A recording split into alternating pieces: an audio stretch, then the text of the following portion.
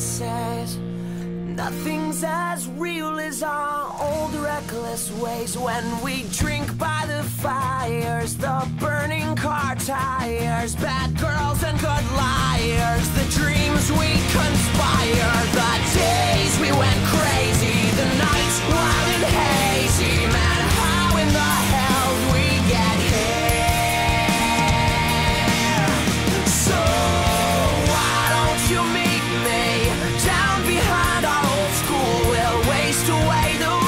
Weekend with perfect regard for how cavalier we used to be. That beautiful insanity, the apathy